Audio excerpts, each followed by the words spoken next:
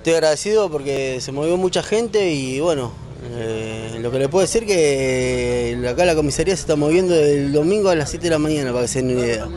Eh, yo desde el domingo que no duermo y están al pie del cañón, eh, cada paso que dan me lo están informando y bueno, esto es tener un poquito de paciencia porque va, va a aparecer. estamos revisando cámaras, aparte no es que están solos, yo estoy viendo las cámaras también. ¿Me entendés? Eh, estoy haciendo todo lo más posible porque esto se esclarezca, porque fue mi hermano y no quiero que sea el hermano de cualquiera. César, ¿qué pudieron saber? ¿Cómo fue el accidente? si podemos llamarlo como accidente, porque evidentemente no sería accidente. Eh, hipótesis, hay muchas. ¿Me entendés?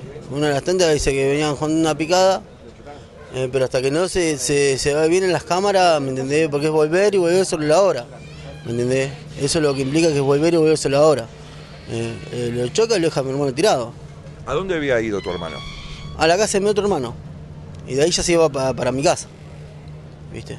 ¿Cómo se enteran ustedes del accidente? Yo me enteré por una llamada de mi mamá. Eh, y después una vecina que lo vieron lo fueron a dejar a mi hermano que vive ahí al lado donde fue el accidente. ¿Viste? Eso es todo lo que, de lo que sé de ese día.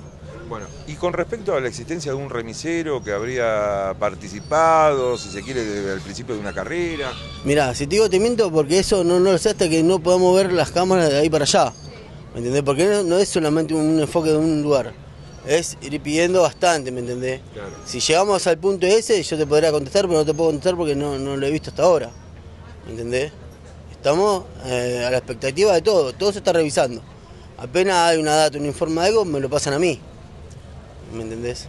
Doctor, eh, estuvieron revisando cámaras, bien dice César, eh, ¿se puede por lo menos empezar a armar el recorrido del vehículo? ¿Está confirmado que es un Bora? Sí, lo que está confirmado es un Bora, no sabemos el color. Sí, yo fui alertado de este episodio por un conocido en común. Ustedes saben que yo soy de la zona de Moreno, tengo una quinta donde aparecieron autopartes del vehículo y los familiares fueron y lo trajeron a la comisaría. Enseguida se puso a disposición de la fiscalía. Ustedes saben cómo trabaja la Fiscalía número uno del Departamento Moreno General Rodríguez al 700% conjuntamente con la policía. Se analizaron esas autopartes, se empezaron a analizar otras cámaras privadas y, bueno, vaya casualidad que las cámaras del municipio no andan, con lo cual es un fuerte llamado de atención para, para el intendente Festa, este, con lo cual el clamor de los vecinos fue, fue tremendo recién porque no, si bien pretenden explicaciones del comisario, este, pero saben todos perfectamente que con las cámaras andando por parte del, municipio, hoy estamos dando con este asesino que incurrió en el segundo delito que es abandono de persona.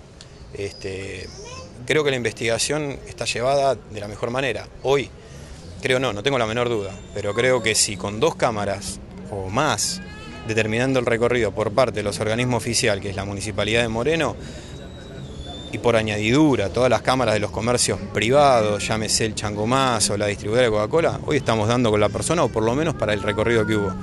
Eh, recién César ya lo dijo, la comisaría está trabajando de primera al 100% conjuntamente con el fiscal.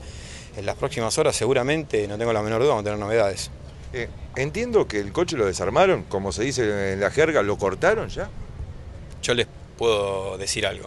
El corrillo recién del remisero de picadas. Que cortaron son todas especulaciones por parte del periodismo.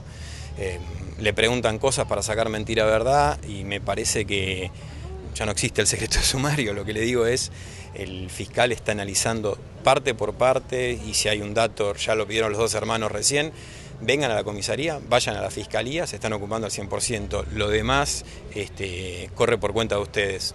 No existió, hasta lo que sabemos, ningún corte de autos, sí los autopartes quedaron por el impacto, que se están analizando en una agencia local y en una agencia matriz, con lo cual nos puede determinar si no que el autoparte se corrige con la parte estructural del auto, si no se puede dar con, con el número de serie de, del rodado. Pero hasta ahora, lo que me acabas de decir, o que el remisero, sí, hay una persona que dijo, que un remisero dijo, hasta ahora esa mera declaración no se puede corregir con los hechos. Bueno, César, siguen reclamando justicia y aquella persona que haya sido testigo ocasional de este hecho que se acerca a la comisaría, que se acerca a la fiscalía. Así es. Eh, todo, todo significa, todo poquito significa mucho en este momento. Eh, lo mínimo que se pueda que se pueda acoplar a esto es esencial. Eh, porque es una pieza rompe, es una telaraña. Hay que empezar del punto y ir tejiendo para poder solucionar lo más antes posible. Eh, Emanuel era muy querido. Digo, esto, esto lo, lo muestra la cantidad de gente que se movilizó. Sí, desgraciadamente es así, desgraciadamente lo perdimos. Y bueno, eh, yo me crié acá. Imagínate, mis hermanos se criaron acá. Eh, nos conocen todos, saben la clase de personas que somos, todo laburante. Y, y desgraciadamente, qué sé yo, lo, ya te digo, hoy como dije, lo vi muchas veces por tele y nunca pensé que me iba a tocar. ¿Me entendés? Lo único que pido es que toda, toda persona que tenga algo, que por favor se acerque porque es esencial. Es esencial para poder ir tejiendo esto.